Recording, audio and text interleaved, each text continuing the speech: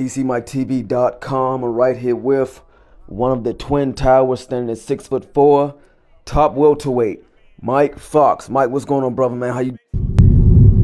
Hey, what up, Mike? I'm good, man. I just finished up in the gym, man. Thanks for having me. All right, that's good to hear, Mike.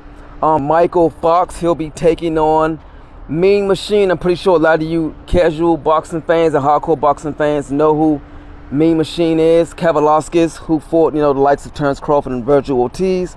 Mike Fox will be fighting him October the 8th. Mike, you've been out the ring, I want to say a little over a year. Both you guys been out the ring for a good while. Um, you know, this has been happening in boxing, you know, lately. How come, you know, good fighters like yourself has been out the ring a long time. I mean, obviously, your last fight you got robbed.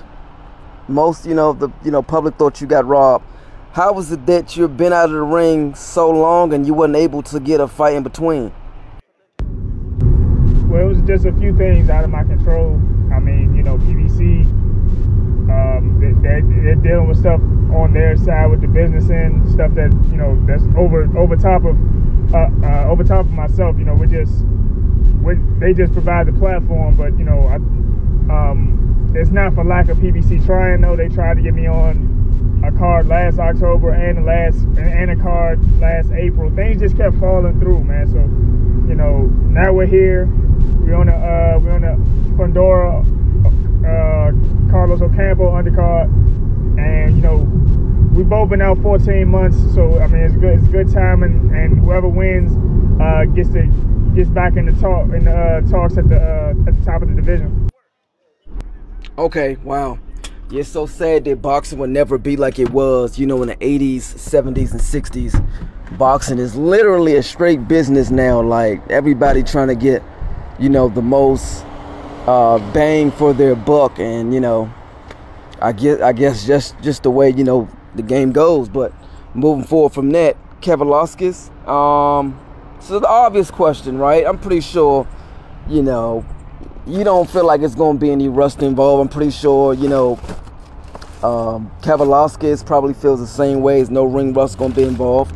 Um, is um, is any training? Is your training different this camp as opposed to any previous camps before?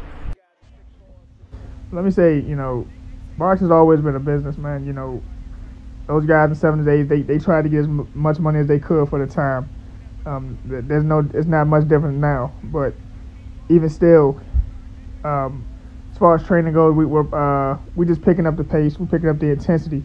But we, uh, me and me and both been out of the ring for about 14 months. So if there's ring rust, I think we've been out the same time, so we'll we'll both be able to hide it. It'll be about who can make the adjustments.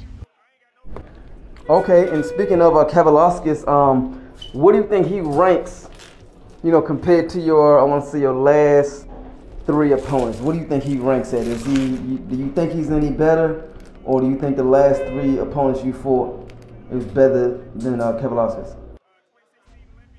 I mean, he's definitely the most noteworthy. You know, he's been in big fights with Virgil Ortiz and Terence Crawford. He came up short, but he made it all the way to a world title opportunity. So, um, uh, he has he has to definitely be ranked the highest just off of that.